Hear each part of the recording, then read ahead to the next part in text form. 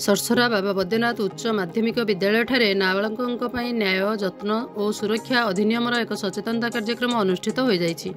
ଆଜି ଗୁରୁବାର ସକାଳ ଏଗାରଟା ସମୟରେ ଜିଲ୍ଲା ଆଇନ ସେବା ପ୍ରାଧିକରଣ ଦ୍ୱାରା ବାବା ବୈଦ୍ୟନାଥ ଉଚ୍ଚ ମାଧ୍ୟମିକ ବିଦ୍ୟାଳୟ ସର୍ସରାଠାରେ ନାବାଳକଙ୍କ ପାଇଁ ନ୍ୟାୟ ଯତ୍ନ ଓ ସୁରକ୍ଷା ଅଧିନିୟମ ଏବଂ ସରକାରଙ୍କ ଦ୍ୱାରା ଛଅରୁ ଚଉଦ ବର୍ଷ ବୟସ୍କ ଶିଶୁମାନଙ୍କ ପାଇଁ ହୋଇଥିବା ବାଧ୍ୟତାମୂଳକ ଶିକ୍ଷା ଦେବାର ବ୍ୟବସ୍ଥା ଉପରେ ଏକ ଆଇନ ସଚେତନତା କାର୍ଯ୍ୟକ୍ରମ ଅନୁଷ୍ଠିତ ହୋଇଯାଇଛି।